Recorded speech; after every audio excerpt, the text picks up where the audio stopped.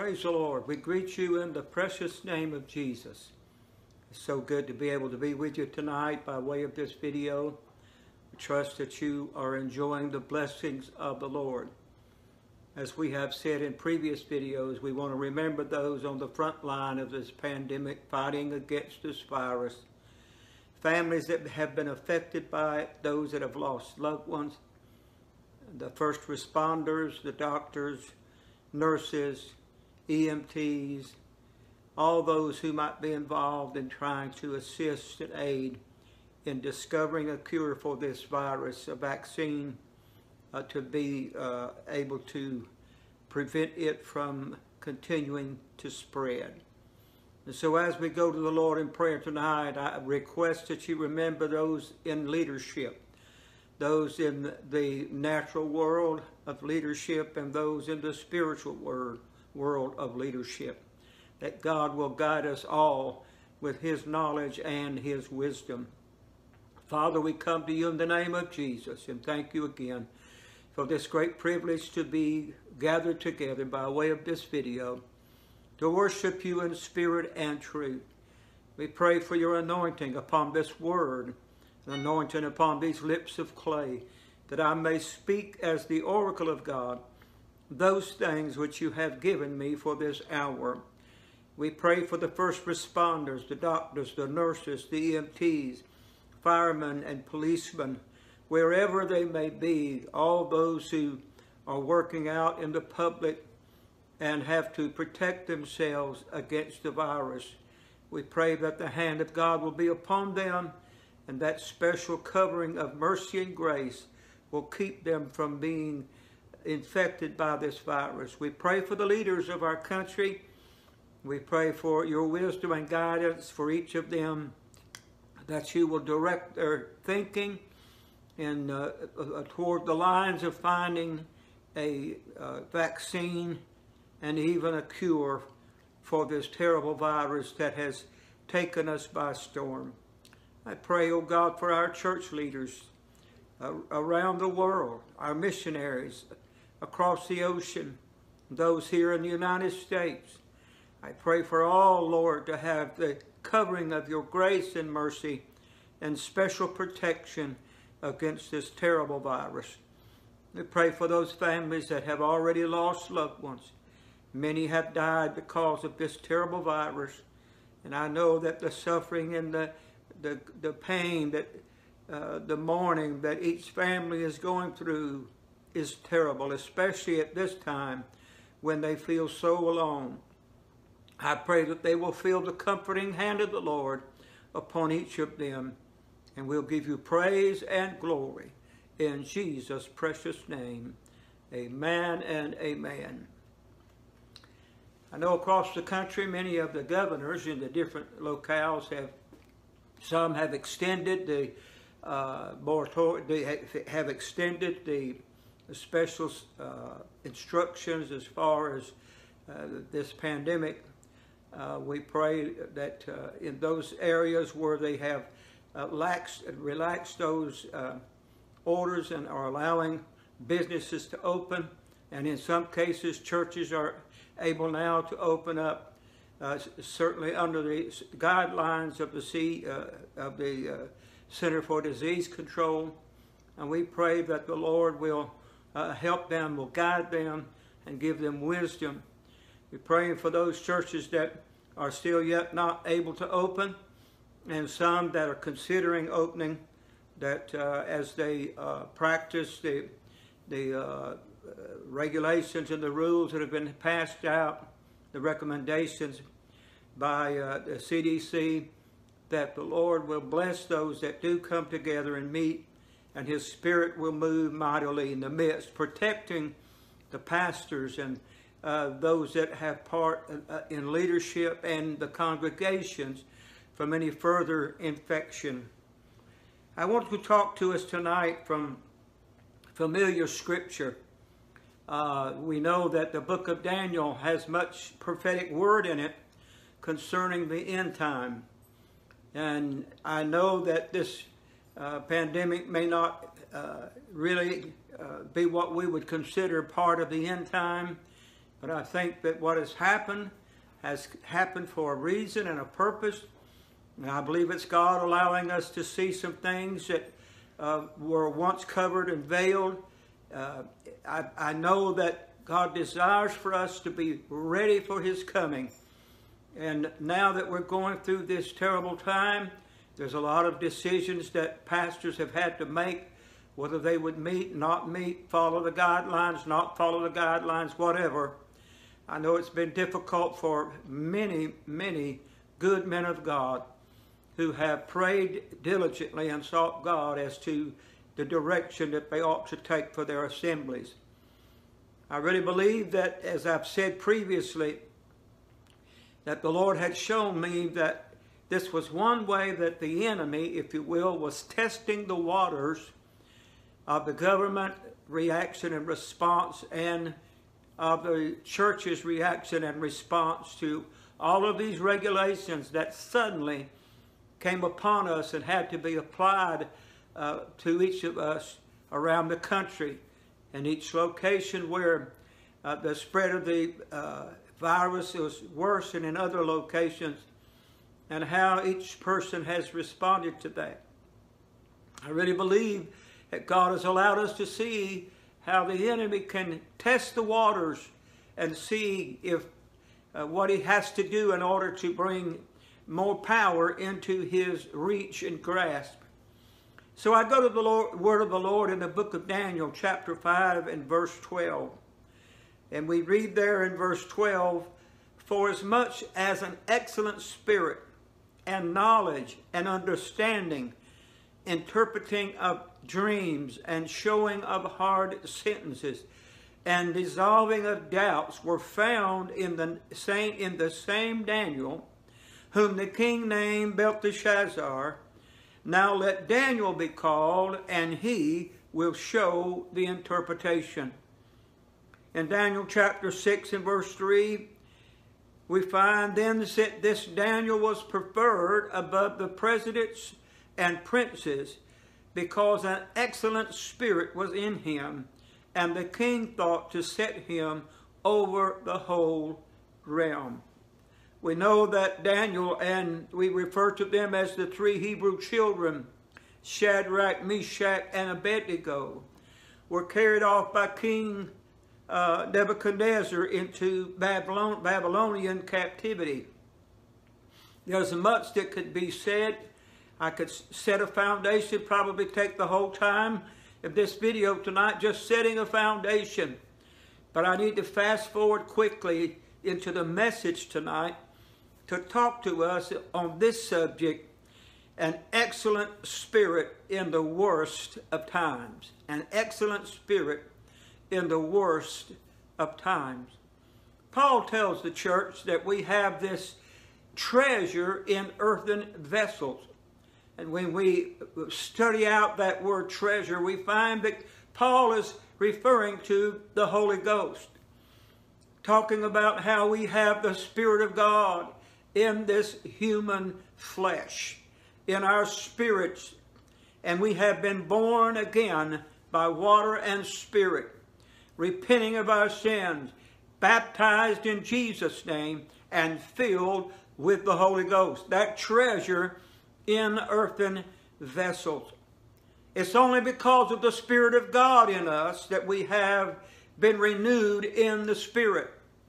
For the Bible tells us that all things pass away and all things become new.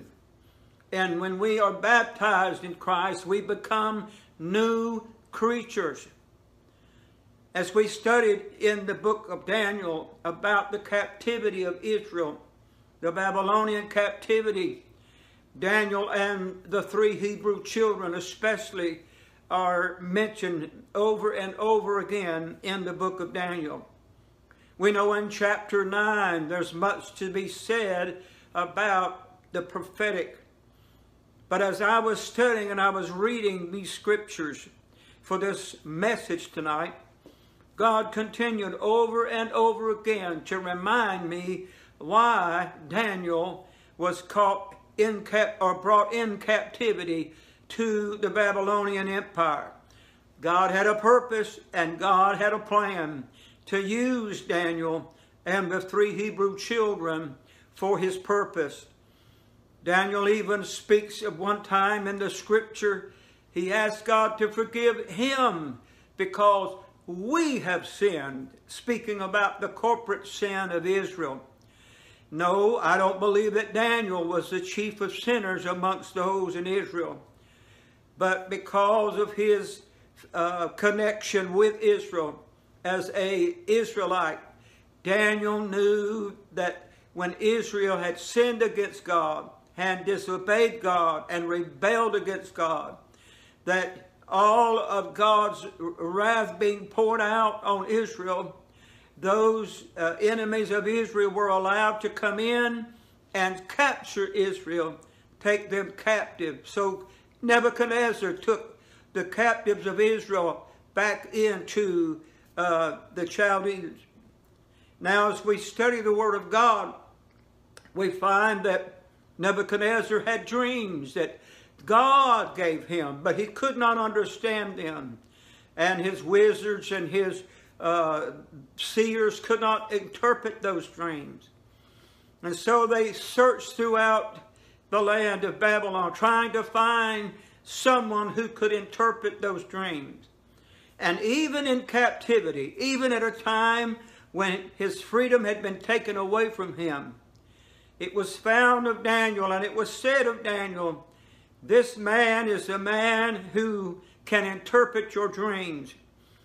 And the Bible, as we take it tonight in the scripture that we were using, chapter 5, verse 12, they come now to the king to explain to him, there's a man in your kingdom that can interpret your dream.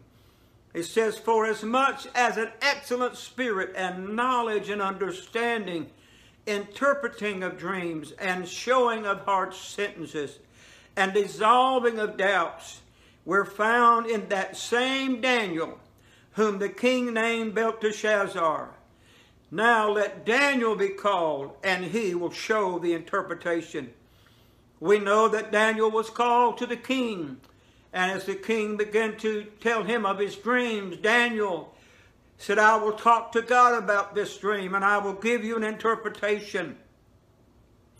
We know that there was much to be said about how God used Daniel, even while he was in captivity.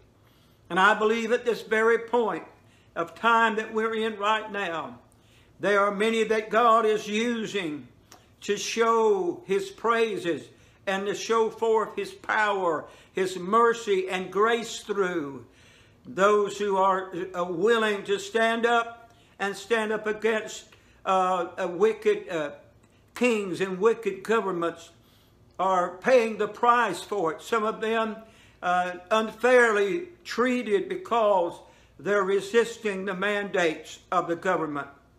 I say again, it's, it certainly appears to be an opportunity for the enemy to find out how much territory he can take away from the church and how much power he can gain from the will of the government.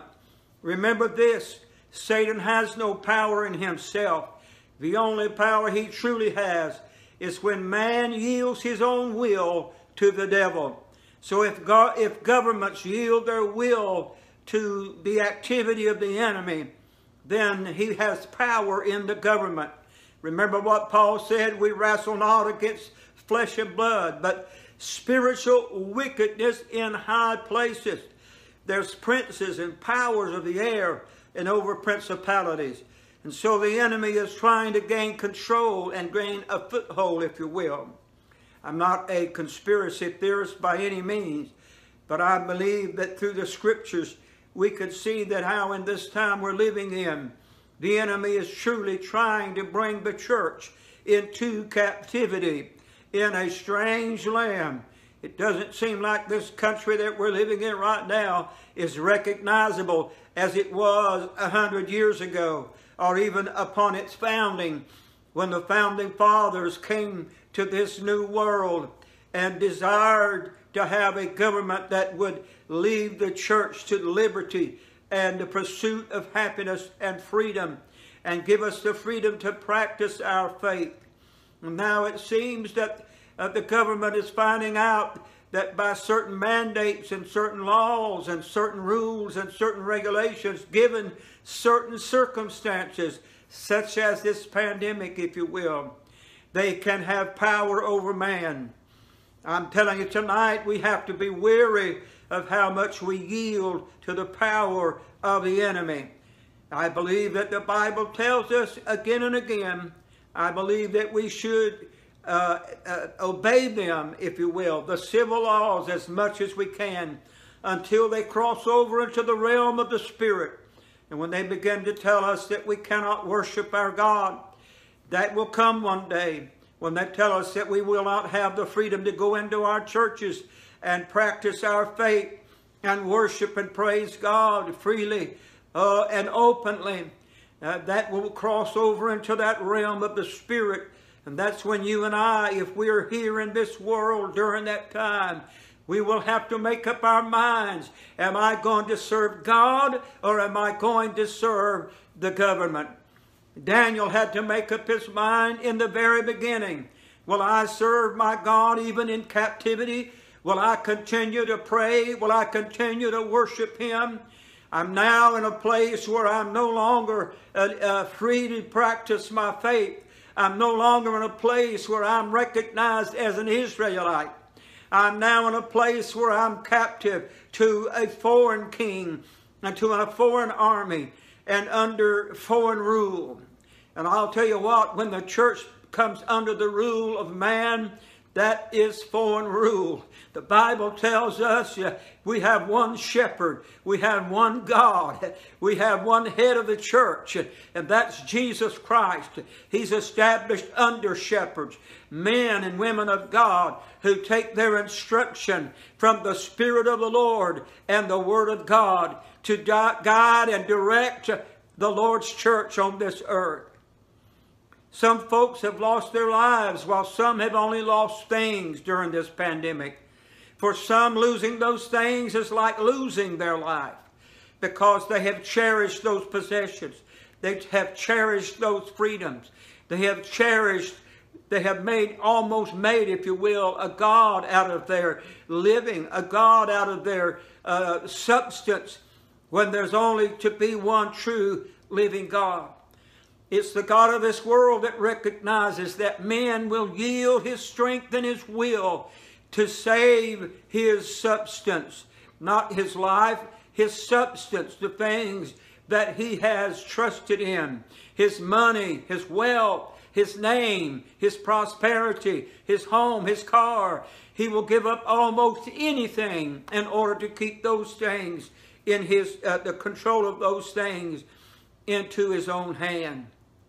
Right now, we all can say that we haven't endured such contradiction of sinners against ourselves as the Lord did according to Hebrews chapter 12. Lest ye be wearied and faint in your minds, ye have not yet resisted unto blood, striving against sin. Well, thank God the army's not standing outside our doors with guns and weapons drawn, telling us if we cross the line, they'll shoot us dead.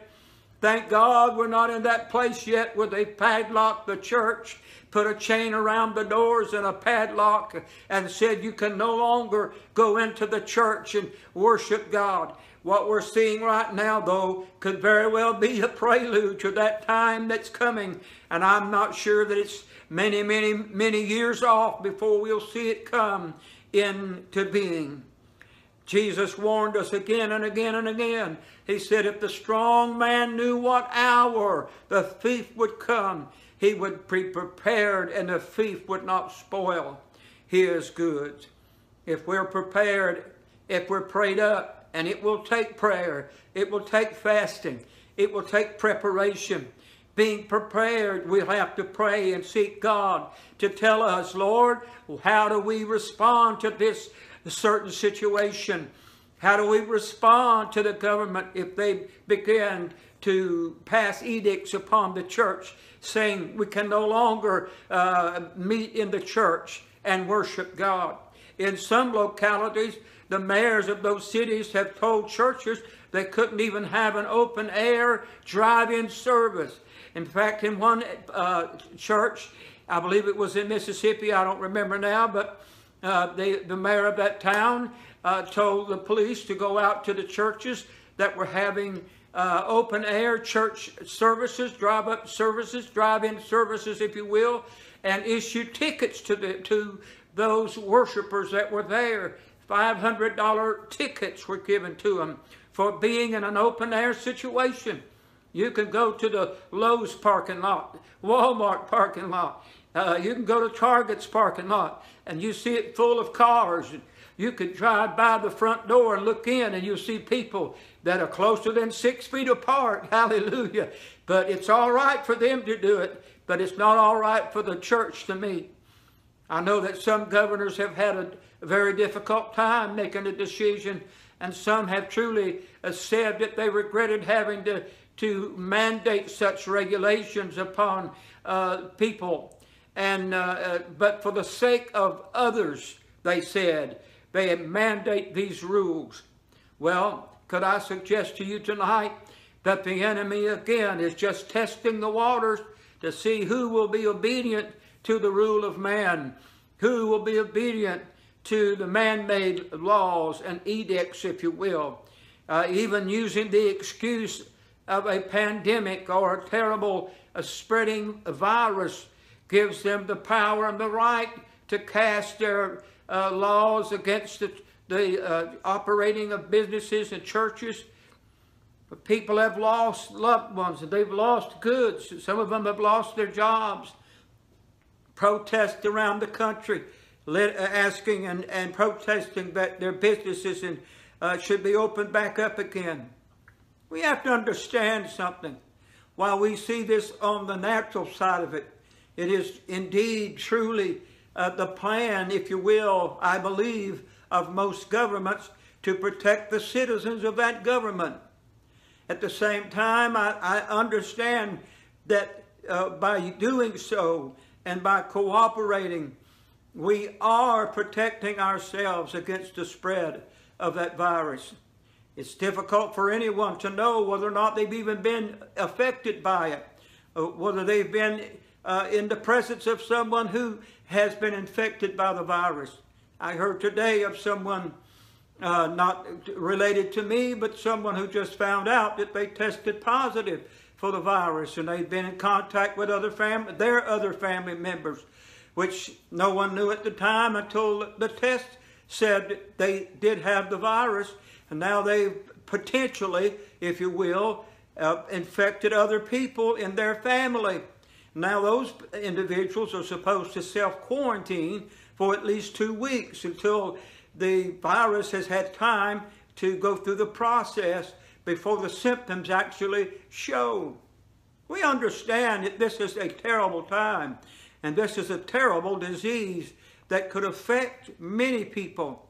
It has already affected hundreds of thousands and thousands of people have died across the world.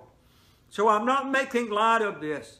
But what I want us to understand just like Daniel, who was a captive, if you will, in a foreign land, who, who, who had to make that decision. Am I still going to practice my faith in this captivity? And you and I have to determine in our hearts and our minds, knowing this much, that we have confidence in the Lord Jesus Christ, that if we are willing by faith to practice our faith, God will back us up. Hallelujah. God will stand up for us. He said, if you'll be ashamed of me before this sinful generation, he said, I'll be ashamed of you when I come before my Father and the holy angels. And I'm not ashamed of Jesus Christ. I'm not ashamed to say that I'm one of his children. And I will practice my faith as much as I possibly can openly as long as God will help me. I want to practice my faith. I want to tell the world. I want to tell the government. I want to tell all of those that I am a child of God. And I believe God will protect us and keep his hand upon us. Paul said in 2 Corinthians, which I'd already mentioned this earlier, in chapter 4 and verse 7, he said, We have this treasure in earthen vessels, that the excellency of the power may be of God and not of us. We are troubled on every side. In fact, I read this scripture a couple of weeks ago. In verse 8, we are troubled on every side. But Paul says we are not in distress. Distress is when you have no hope or no help available to you. And you feel uh, helpless that you cannot do anything about your situation. I back up and talk about Daniel again, finding himself a captive in a foreign land. The chamberlain, if you will, or the, the head of the eunuchs, came to Daniel and to the three Hebrew children and said, We've got to prepare you to stand before the king. The king has called and wants your presence. But before you can come to the king, there's some things that we have to prepare you for and prepare you with. One of the things the Bible tells us about in that same book of Daniel, they wanted to teach them the language of the Chaldeans so that they could understand the language. But Daniel refused, if you will, to learn another language. He said, I'm going to speak this language that I've been taught and have learned and lived all my life. I liken that to the faith that we have in God. There's not another, praise God. I, don't ask me to believe in another God. Don't ask me to serve another God. Don't ask me to bow down to a king. Don't ask me to bow down to a government. My faith, my hope, my confidence is in the Lord Jesus Christ. And all of the church, I challenge you to stand up for Jesus. I believe if you will stand up for the Lord, He will stand up for you. And Daniel said, No, you, you, we don't want to learn the, the, the word or the language of the Chaldees. We, we, we already know the heavenly language, and we're going to practice that and we will not learn the language of another. You see, they were trying to assimilate them into their culture, into their time, and into their world. Teach them their language. Let them eat their food. Uh, they said to Daniel and to the Hebrew children, We're going to bring you the king's meat, and we want you to eat the king's meat. But Daniel said, No, no, we, we can't do that. We won't drink the, the king's wine and we won't eat the king's meat. Amen. The Bible said he told uh, the uh, chamberlain or the head of the eunuchs, if you will, he said, You just let us have what we normally eat, and you give us 10 days. And at the end of that 10 days, if we're not, uh, if we don't look better than we look right now, then we'll eat the king's meat. But the Bible says that when the chamberlain came back, when the head of the eunuchs came back, and he looked at Daniel and the Hebrew children, their countenance was even greater and better than it was at the beginning. Hallelujah. I'll tell you what, church, if we'll eat the, the king's word tonight, if we will de, uh, devour the word of God, if we will ingest the word of God, if we will eat the Word of God, if we will eat that book, hallelujah. I know it's sweet to the taste and sometimes it's bitter to the stomach, amen. But the Word of God will cause the Spirit in us to grow and to live and to have power in God, amen. We have this treasure in earthen vessels. We cannot defile this treasure. There's no place in this spirit, no place in this, this fleshly body for two spirits. Hallelujah. We can't serve the world and serve God at the same time. We either have to reject the world and serve God or reject God and serve the world. For those that have lost things, goods, houses, cars, the, those that have lost the, the, the, the things of the flesh, they mourn and they grieve. But I know that if I were to lose my relationship with God, it would be a disaster. The king sent word to Daniel, you're not to pray anymore to your God. You're not to pray anymore to Jehovah, but you will pray to our gods. You will bow to our gods. But the Bible says Daniel had a boldness about him. he continued to pray to his God. He continued to throw his window open toward Jerusalem. Three times a day for 21 days, he prayed to God Almighty. And of course, those who hated Daniel, those who were jealous of Daniel, those who wanted to defeat and destroy Daniel, told the king of what was happening. And Daniel was cast into the lion's den. Hallelujah. But you know what? Those hungry lions found out you can't mess with a praying man. Praise the Lord. I, don't, I know that Daniel didn't expect the lion's den. That was not his plan. Hallelujah. But just like the book, what, just like it says in the book of Revelations, chapter 2 and verse 10, fear none of those things which thou shalt suffer. Behold, the devil shall cast some of you into prison that ye may be tried, and ye shall have tribulation ten days. Be thou faithful unto death, and I will give thee a crown of life. But to those that are depending on the world, to those whose God is the world, to those whose substance is of the world, to those whose resource is their own personal strength, their own uh, ability to get gain, to those who have trusted in the world to lose the world is death to them. It's more, it's, it's, it's worse than dying.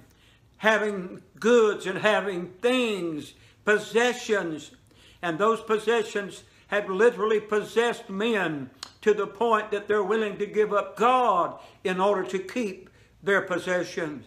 I wonder when the time comes and we, if we have to stand up and say, I will not take the mark, I will not take uh, the mark. I will not take uh, the implant, whatever it is that, it, that they try to implant in us in order to mark us so that we can buy, sell, or trade.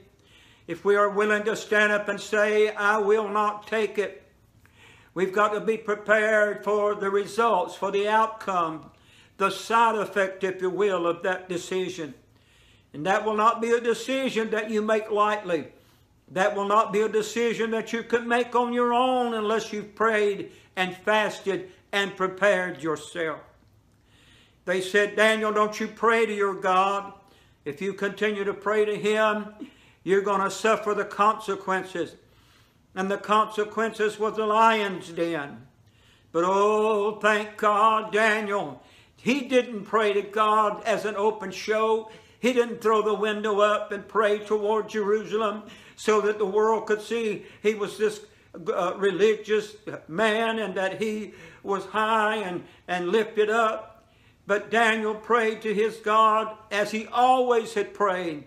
He prayed no differently. He did not pray in order to be thought well of. He did not pray in order to be the one that they would choose for a high position. He knew the outcome would not be good. Hallelujah. If he resisted the decree of the king. But Daniel prayed to his God just like he did when he was in Israel. He prayed to his God just like he did when he was called a free man. But now he's in captivity in a foreign land, and a foreign king and foreign government has told him, You can't pray to your God. But Daniel said, I'm going to pray to my God just like I've always prayed to my God. I'll have to suffer the consequences. I wonder, church, are we ready to suffer the consequences if we stand up to the government, if it gets any worse than it is now, if it begins to, to, to dictate to us that we can no longer uh, practice our faith? Will we be able to stand up and say, I'm going to worship my God anyway? I'm going to pray to my God anyway. I'm going to read my word, my Bible. I'm going to follow its edict. I'm going to follow our faith. I'm going to follow the word of God if it means death. Hallelujah. Oh, my Lord. How many people will be able to say, i I'm ready to resist even unto blood? But we're told to this point we haven't resisted unto blood. Could it come? Oh, it well could come. If you read and study the book of Revelations, there is a time coming when we will be told, if we're still on this earth, if we haven't been raptured out, if we haven't gone by way of the grave, it'll, there'll be a time coming when they say, unless you accept the mark of the beast, you won't be able to buy, sell, or trade, and you certainly won't be able to practice your faith. As a matter of fact, there'll be those who will be willing to turn you over to the government thinking that they're doing uh, the right thing to protect themselves. There were those who were willing to go tell the king about Daniel praying to his God. What about the three Hebrew children? They were told when the sound of the cornet is heard, you're going to bow and worship the golden idol. You're going to bow and worship the idol that the king has set up. But the three Hebrew children said, we're not, we're not slow to answer. we don't know if God will do it, but we know one thing, we're not bowing to your idol. We don't know if he'll deliver us, but we won't bow to your idol. I'm sure they weren't looking for the fiery furnace, and they weren't looking for it being heated seven times hotter. But they were looking for their God to be with them no matter what happened. I wonder is the church tonight believing that our God is going to be with us no matter what happens? I wonder if the church tonight can say, I believe that the Lord is on my side. As long as I stand up for Him, He will stand up for me. I'm not backing down to the mandates of men. I'm going to stand up and practice my faith in Jesus Christ. I'm going to preach that Acts 2.38 message. I'm going to tell people they need to repent of their sins. They need to be baptized in Jesus' name. They need to be filled with the Holy Ghost. Hallelujah. Oh, I think we ought to clap our hands and praise God Almighty because we are children of God and God is fighting for us. Amen. Amen. The Bible says in John chapter 16, in verse 33, These things I have spoken unto you, that in me you might have peace. In the world ye shall have tribulation, but be of good cheer. I have overcome the world. Jesus was speaking these words to his children, to the church, and he said, In this world you'll have tribulation. Oh, church, there's nothing in this world that's eternal.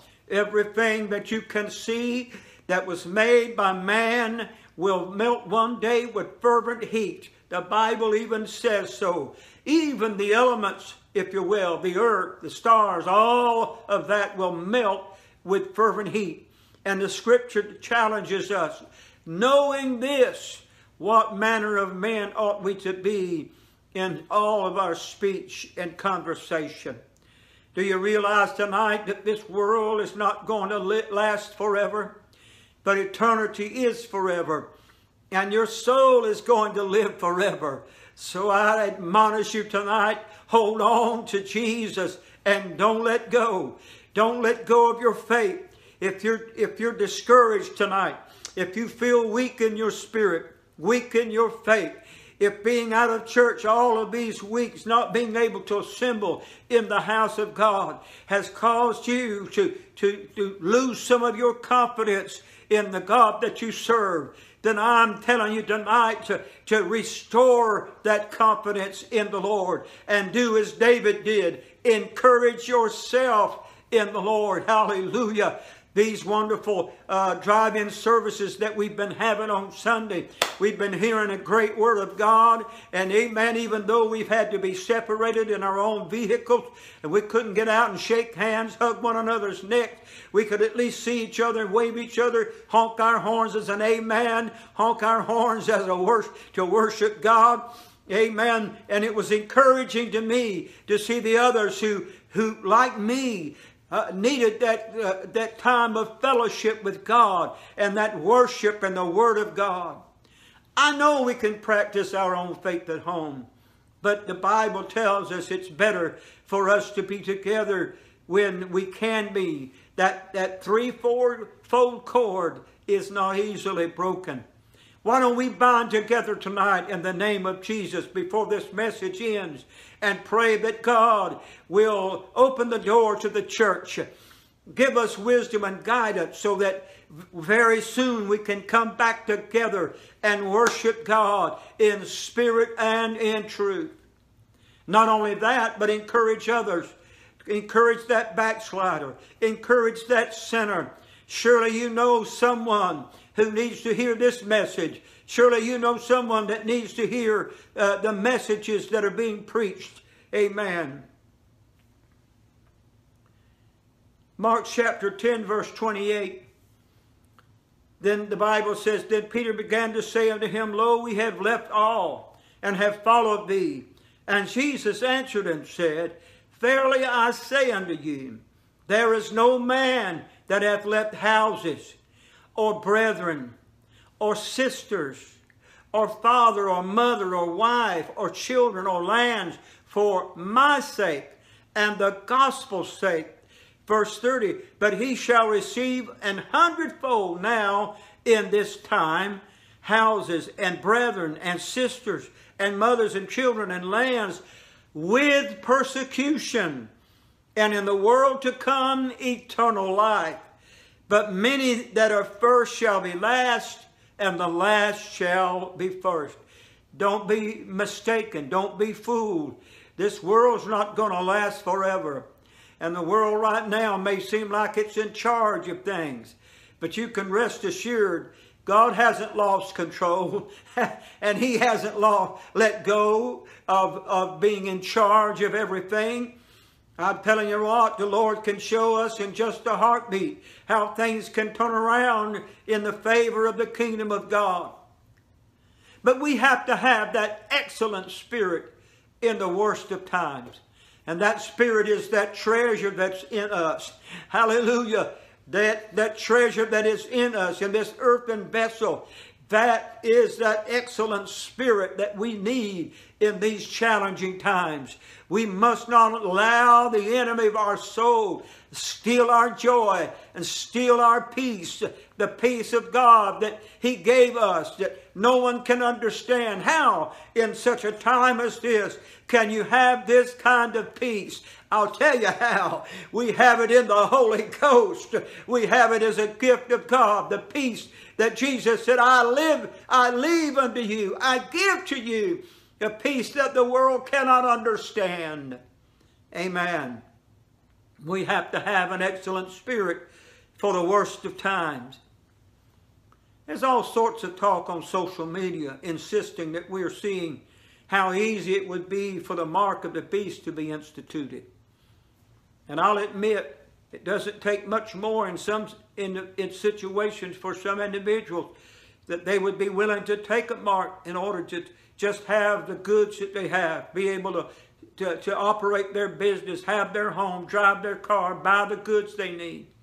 And even in some cases, uh, they feel like it would be necessary to provide for their families. My family is important to me. My children, my wife. My children are all grown and have their own families. But I have grandchildren, and I'm concerned about them. I'm concerned about their welfare. I'm concerned about their spiritual welfare. But I believe that what is most important is the condition of our souls, not of the things of this world that we possess. Amen. When that order comes to some who said you must obey in order to be able to conduct your life or your business operations, you've got to take that mark in order to buy, sell, or trade. It could easily happen during this pandemic. I'm not saying it will. But we could see how the devil is watching, how the church is responding. I'm sure Daniel wasn't expecting when he went into that lion den that he wouldn't come out. I believe he had confidence and faith in his God because it wasn't long after Daniel had prayed when God sent the messenger to him and said, I hear, I heard your first prayer, the very first prayer that you prayed. That will give you confidence. And I believe God hears our prayers. I know He knows who we are, not just by the flesh, but by our spirits, what we're made of. Are we faithful? Will we stand faithful to God? I know the children of the three Hebrew children weren't expecting in that heat. They probably were not expecting that fourth man to be in there, but they made a commitment we will not bow to your idol image. And it was because of that faith and because of that commitment that the fourth man, like unto the Son of God, walked around in that fire with them. And I believe, children of God, I believe God is going to walk in the fire with us no matter what. We can look and we'll see Him in our situations, in our trials and tribulations. We'll have tribulations in this world. We'll have the enemy trying to take away from us the things that God has given us our freedom, our faith, our joy, our happiness, our peace. The thief cometh not but to steal, kill, and destroy. Daniel chapter 1, verse 4, the king said, I need children in whom there's no blemish, but are well favored and skillful in all wisdom and cunning and knowledge and understanding science and such as had ability in them to stand in the king's palace, and whom they might teach the learning and the tongue of the Chaldeans. But Daniel refused to accept the invitation. I just believe the enemy is trying to hand out invitations to us tonight to invite us to his side. Look how much fame and fortune. Look what you'll find on this side of the fence. Why don't you forget God? Why don't you turn your back on God? I couldn't turn my back on God for any reason. God has never turned his back on me. This world turned its back on me. People of the world turned their back on me. When I needed help and strength and hope and help, there was no one in the world that could give it to me, but I found it in the Lord Jesus Christ. And you will too. Daniel chapter 1, verse 8. But Daniel purposed in his heart that he would not defile himself with the portion of the king's meat, nor with the wine which he drank. Therefore he requested of the prince of the eunuchs that he might not defile himself. Daniel had an excellent spirit in the worst of times. Understand the situation that Daniel it was in, the three Hebrew children was in. It was a terrible, terrible time. A situation that they looked like there was no hope to be retrieved from it. But yet Daniel said, I will practice my faith. The three Hebrew children said, We will not bow to your golden idol, to its image. Daniel said, I will not cease to pray to my God just because I'm in these circumstances. And folks, you and I, we cannot cease to pray. We cannot cease to worship. We cannot see, see, we cannot forget to seek our God. We cannot cease in practicing our faith. God is still faithful above all else. If you can't depend on anyone or anything else, you can depend on God. He will not turn his back on you. He will not forsake you, and he will not leave you. He said, I will go with you even unto the end of the world. The three Hebrew children, they knew God. They knew that the Jehovah that they'd always worshiped. They grew up in Israel the word was taught them, Hear, O Israel, the Lord thy God is one. Hallelujah. They knew that God would not forsake them, even though they were in captivity. They knew why they were there, because Israel had sinned, and God had allowed the enemy to take them into captivity. I believe that God has allowed what's going on around us, as much as we hate to say it. I know especially for some, who have family members that are sick and some that possibly if they see this and they've had family members that have been lost because of this virus, they can't, they won't agree with me. No, I don't believe God had anything to do with this. But I believe God lift, lifted his hands from this situation and said, You folks, you've forgotten about me in all of your prosperity and all of the good goods that you've acquired and all of the things that you have. You've forgotten me. You've forgotten about God. And you and I know that this country that we live in certainly has turned its back on God. And I pray through all this, this terrible time of fighting this virus, of the loss of life and the loss of freedom, that people in this world, in this United States, not just Christians and not just backsliders, but the lost will turn to Jesus.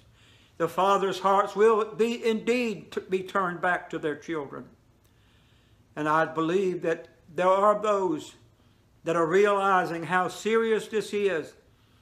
And this could be just the prelude to what is more serious that could be coming not many years from us now. So I challenge us tonight to have an excellent spirit in the worst of times. Father, thank you for this word. Thank you for the unction of the Holy Ghost. I only wish I could have done it more justice. It certainly deserves more.